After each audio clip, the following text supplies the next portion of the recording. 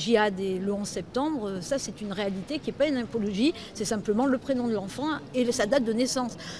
C'est pour le moins maladroit quand même. C'est pour le moins maladroit et aujourd'hui je pense que, mes clients sont euh, effectivement euh, parfaitement malheureux de ce qui se passe, qu'ils prennent conscience aujourd'hui de l'émotion qu'ils ont pu susciter, qu'ils le regrettent mais totalement. On est bien d'accord que c'est maladroit et c'est pour ça que lorsqu'ils ont été entendus par les services de police, ils se sont excusés en disant écoutez, nous n'imaginions pas euh, l'impact que pouvait avoir ce simple t-shirt sur l'opinion publique et aujourd'hui nous sommes effectivement désolés et ils reconnaissent avoir été maladroits. Est-ce que la mairie a le droit de venir et de dire je suis partie civile et je viens de demander des hommages et intérêts et j'ai subi un préjudice, c'est ça qui pose question.